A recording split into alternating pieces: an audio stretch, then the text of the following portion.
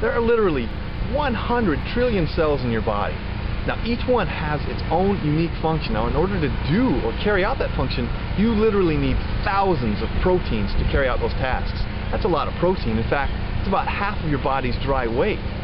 Now proteins do a lot of different things in your body, include build muscle, skin, digest food that move things around, and they assist in a lot of other different body functions. Let's learn more about them over here. Let's go just outside the Bay Bridge here. Now if you look behind me, you can see the bridge here has many different components to it. Crisscrosses, cables running up and down, cables drooping this way and that, concrete, and so forth. Each providing its own unique function, each providing its own individual structure to that bridge. This is much the same way that proteins provide in a given cell. Another function of proteins is transport or transportation. Getting inside the cell, one place to another, or moving around the body entirely from one cell to another. I'm with UPS here. See if I can get a ride out to the endoplasmic reticulum. So, sir, I need to get the endoplasmic reticulum. Do you think you can give me a ride? Come on in. All right. Antibodies are a special protein made in your immune system. They're designed individually to capture and bind up bacteria, viruses, funguses, or any other kind of infection. Antibodies bind up the bad guys. Come on, let's go! So they can be safely taken away. Hello? Hey, um, anybody? We're here with a giant, Willie McCovey, to talk about one other function of proteins, muscle. Muscles are actually a group of proteins, two of which are called actin and myosin. Now my buddy here, Willie McCovey, he was full of a lot of both. As you can see, he's a giant of a man. Now, he couldn't hit those home runs without a lot of this actin and myosin contracting and pulling against each other.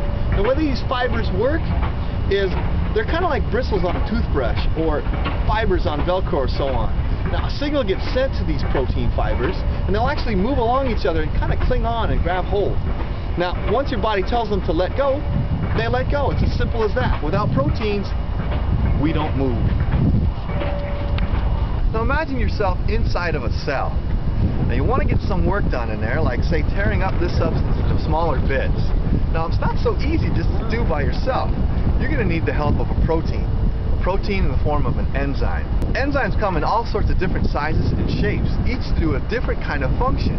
Now the enzyme I have here is stimulated by a pair of scissors. And the reason I'm using scissors here is I can show you, I can just tear this part, this substance apart in two and no problem, and I still have my enzymes. Now, enzymes stick around after they're done with their work. Speed it up, stick around. That's an enzyme. So you might be wondering, just how does the body coordinate all those different functions within itself? Well, one way to communicate those different functions, what's needed in the body, is through a hormone. Now, if you guessed a hormone was a protein, you'd be exactly correct.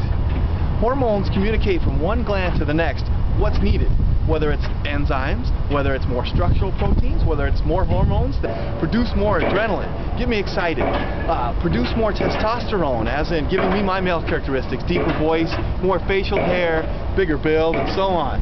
And if you don't know what testosterone does, well, just get someone angry sometime. You just watch them get real, real mean. Hey, kidneys, how you doing? Yeah, it's the brain. Long time no see. Oh, hey, Brain. Yeah, I haven't seen you since we shared a womb together.